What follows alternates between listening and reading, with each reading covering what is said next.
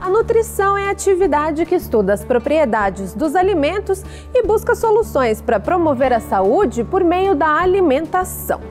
E se você pensa que o nutricionista atua apenas na área clínica com a prescrição de dieta, saiba que ele também pode trabalhar em outras sete grandes áreas. Conheça agora as possibilidades de atuação do nutricionista e o processo de formação deste profissional aqui na UFPR agora, no Vocação.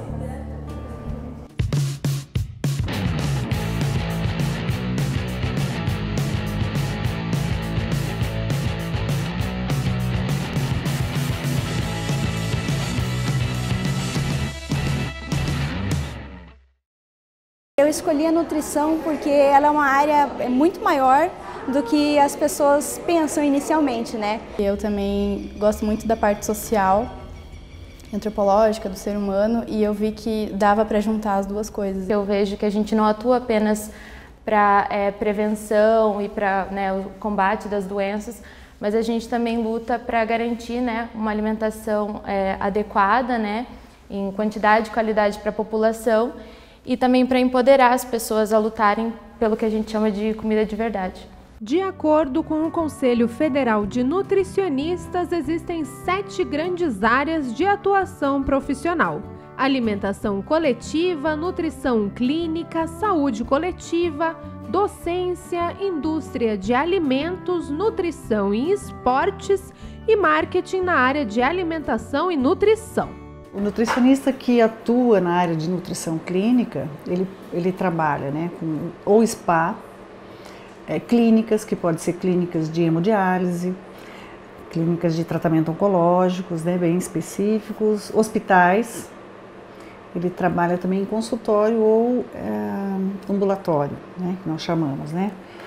É, além de docência, né, com, com a pesquisa, pode ser na docência também atuar é, desde lá no SUS, no Sistema Único de Saúde, nos seus diferentes é, níveis aí de, de, gestão, na atenção primária, né, nas unidades de saúde, até na, na, na, área de atuação mais clínica, até nas áreas de grande complexidade, como a própria área é, hospitalar, né, mas sempre trabalhando numa perspectiva muito mais de promoção da saúde, né, é, do que é, basicamente somente com atenção clínica. Pode atuar na área da, da, agricultura, na área da saúde, na área da educação, por exemplo, a área da alimentação escolar é uma área hoje é, bastante vinculada à atuação do nutricionista enquanto responsável técnico, né?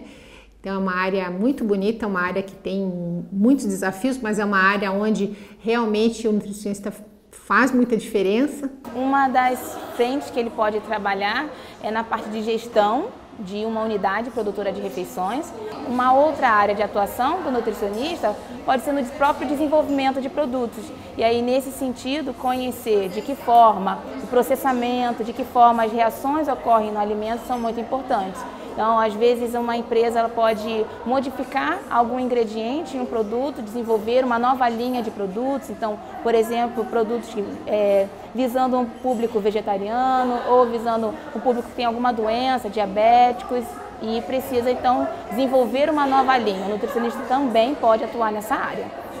E para prescrever dietas, desenvolver produtos ou fazer acompanhamento de atletas de alto rendimento, o profissional precisa primeiro concluir a graduação em nutrição, que confere a ele o título e as competências para desenvolver atividades de um nutricionista. O curso tem duração de 4 a 5 anos e aqui na Universidade Federal do Paraná, a graduação em nutrição passou a ser de 4 anos e meio desde a reformulação curricular, realizada em 2017. Nós alteramos a nossa matriz curricular, né, o nosso projeto político-pedagógico, para englobar novas áreas de atuação do profissional, por exemplo, a área de esportes e também a área de alimentação escolar, por ser uma área de atuação importante do profissional, nós entendemos a necessidade de ter uma unidade que tratasse esse assunto.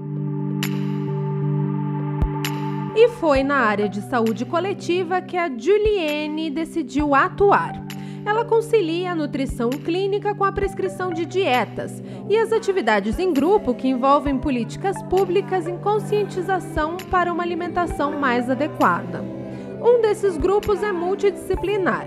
A equipe, formada por profissionais de nutrição, fisioterapia e psicologia, orienta idosos para melhorar a qualidade de vida. Eu brinco que quando a gente faz um plano alimentar, é muito difícil do paciente seguir, né? Até por... a gente às vezes tem dificuldade de seguir exatamente, né, aquele negocinho fechado. Então a gente trabalha com metas, aliando o plano alimentar, né? Ah, o que tem que comer no dia? Então o que a gente vai fazer para o próximo mês? Né? Mais ou menos assim. Daí, claro, eu faço uma anamnese, faço um diagnóstico do estado nutricional do paciente também. O grupo de idosos promovido pela Secretaria de Saúde acontece toda semana e os participantes fazem o possível para não faltarem às reuniões e assim poderem levar para casa novos aprendizados sobre alimentação. Neste caso, a reeducação alimentar é inserida na vida dos pacientes aos poucos, com exposição de diferentes informações para cada encontro. Mas a primeira opção de Julie, quando entrou na faculdade de nutrição, não era a saúde coletiva. Eu fiz nutrição na Federal, né? E antes de eu cursar, eu fui fazer o, a, fui na feira de profissões. E eu não tinha ideia do que eu queria, né? É, não, nunca passou pela minha cabeça fazer nutrição. E daí eu fui no estande da nutrição e daí eu lembro que um menino chegou para mim e falou, né, que estava atendendo, e falou assim, ah, a nutrição, a gente não precisa só trabalhar na clínica atendendo paciente, a gente pode educar todo mundo fazendo promoção de saúde. Basicamente ele falou isso. Eu falei, mas como isso, né? E ficou na minha cabeça, passou, falei, ah, vou fazer nutrição. E daí, só que eu sabia, na minha cabeça, nutrição era atendimento clínico, né? Não tinha grupo, não, né? não, tinha, não sabia o que era o SUS na época. E daí, logo no segundo semestre, eu falei, ah, eu descobri a nutrição coletiva, né? Ali, a saúde coletiva. E daí eu me encantei, assim. Então, o que ele me falou lá, eu fui descobrir no final, né? Lá no, dentro da faculdade.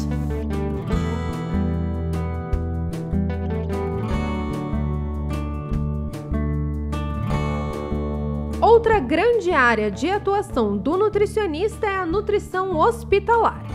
A Débora é chefe do Departamento de Nutrição do Hospital de Clínicas da UFPR. Ela é responsável pela gestão do setor que organiza todas as dietas dos pacientes internados. Então, a nutrição clínica ela vai avaliar todos os pacientes. Então, ela vai verificar risco nutricional do paciente, para traçar um plano alimentar para esse paciente, a prescrição dietética, acompanhar a evolução desse paciente desde o início da internação até a orientação de alta. As dietas são prescritas de acordo com cada quadro clínico e a elaboração do cardápio é realizada com base na avaliação de uma equipe multidisciplinar.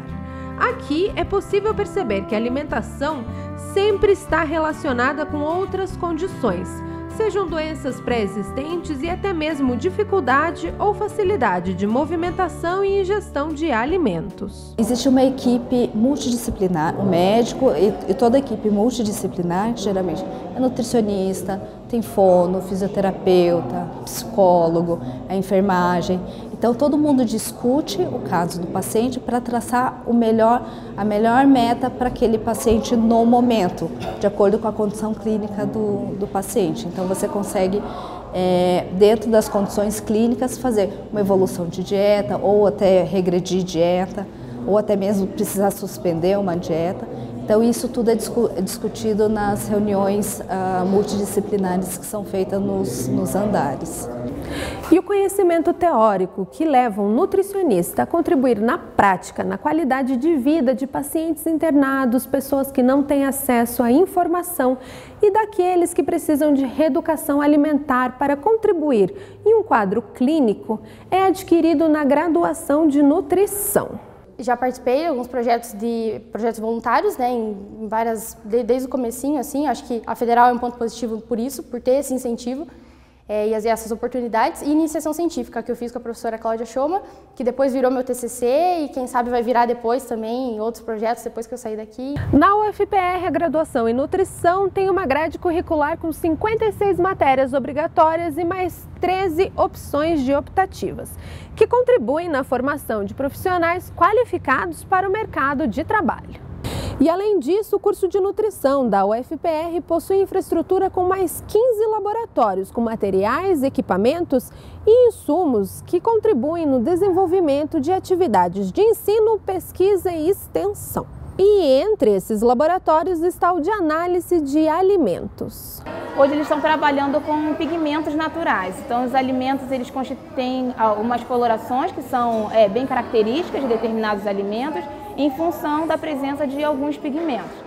Esses pigmentos podem ser modificados, ser a estrutura e no final a coloração modificada em função às vezes de temperatura, do meio que ele é, que, que está presente, se é um meio ácido ou meio básico e da presença de alguns metais.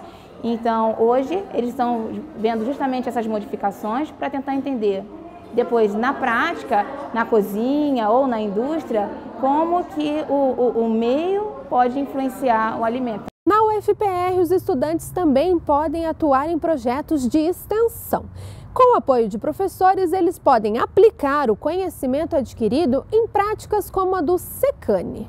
O Secane ele tem o objetivo de fortalecer a alimentação escolar, então o Programa Nacional de Alimentação Escolar.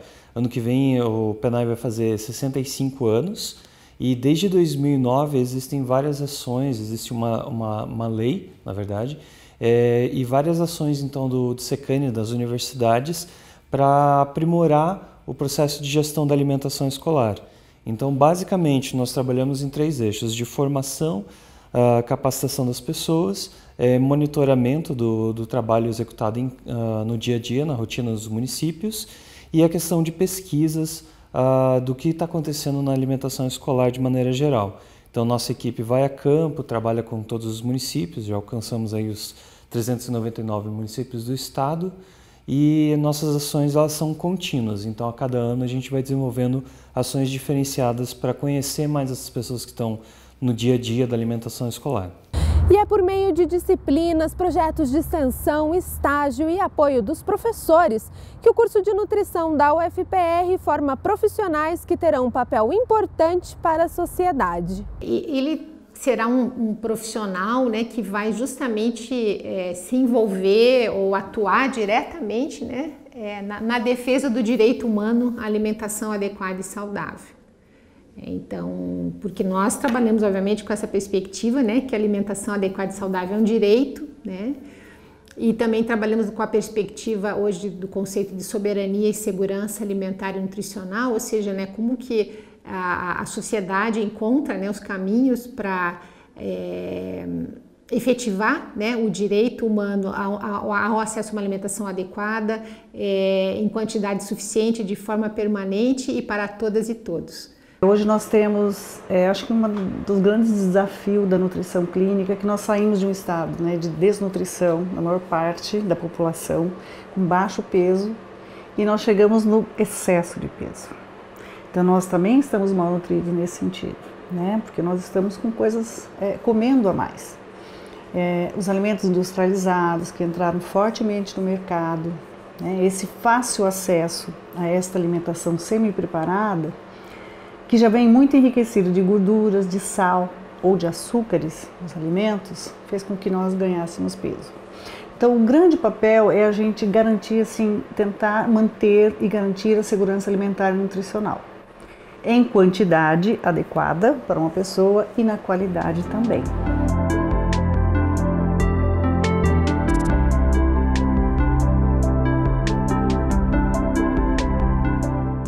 Piso salarial do nutricionista varia de acordo com o estado, as áreas de especialização, o segmento de mercado, os títulos e a experiência do profissional. O curso de graduação em nutrição da UFPR tem duração de quatro anos e meio. No vestibular de 2019-2020 foram ofertadas 53 vagas.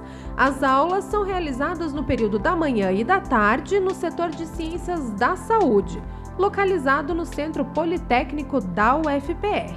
Para mais informações, acesse saúde.ufpr.br/portal/nutrição.